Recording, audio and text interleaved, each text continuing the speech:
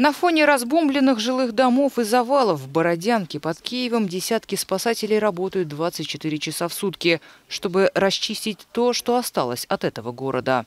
Но помимо этого они также собирают доказательства для расследования потенциальных военных преступлений, которое уже ведется. Только в Бородянке было найдено более 1300 взрывных устройств.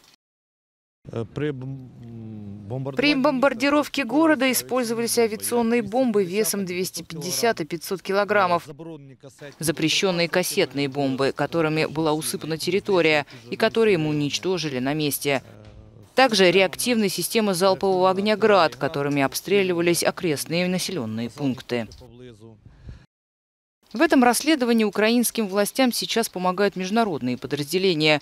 У того, что произошло и происходит в других городах страны, для многих есть только одно определение.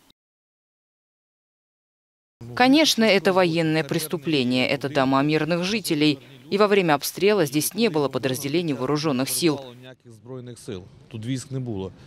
Их здесь не было. Они обстреливали мирный город, используя в том числе запрещенные кассетные бомбы, которые были сброшены прямо на эту площадь, в центре города. Неправительственные организации, такие как Truth Hounds, также работают на местах.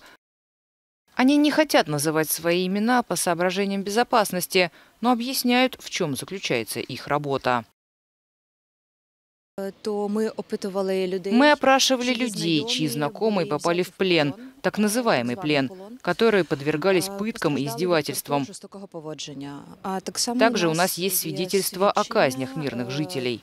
Про розстріли цивільного населення. Собранные доказательства, которые считаются конфиденциальными, затем заносятся в каталог и направляются в национальные и международные органы.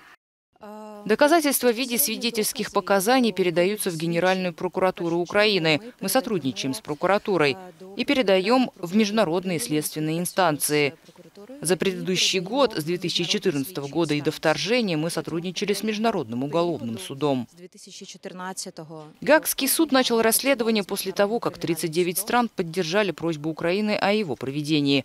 При этом Россия не имеет юридических обязательств сотрудничать с МУЗ и не обязана выдавать подозреваемых, так как вышла из состава Международного уголовного суда в 2016 году.